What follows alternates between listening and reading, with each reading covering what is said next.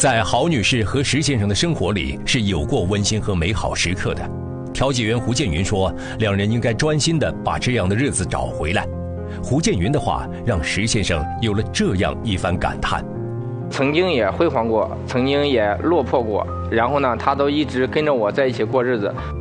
石先生似乎对这段感情还有留恋，那么他在之后的日子里会努力改变自己吗？那你后来的行为是加分还是在减分？我后来是加分。石先生自信满满的说：“他之后的行为是加分的。从上次买彩票欠下一百万后，他再也不敢赌了，每天认真工作，努力还债。现在拖后腿的人可是妻子，平时对他进行人身控制。我今天看的抖音给谁点赞，他在他的手机上能看得到的，他一定要马上给我打电话过来。你为什么要给这个人点赞？别人给我打一个电话，我说老婆，我出去接个电话，或者这一个电话。”骂了我三四个小时，在他工作的地方经常搞破坏，就在我公司里面拿着刀砍电脑、砍复印机、砍我、砍那个我们喝茶的那个。我能插一次嘴吗？东西。我发现他事情比这还要更加的所有的事情他都会进行。他这四个月没上班了，就是辞职，来控制我，来去制裁我。这两年，石先生说自己两次被打到去医院缝针，暴力的频率和严重程度都在升级。郝女士承认，她确实在失控的边缘。失控的原因是她发现石先生做的事情越来越离谱。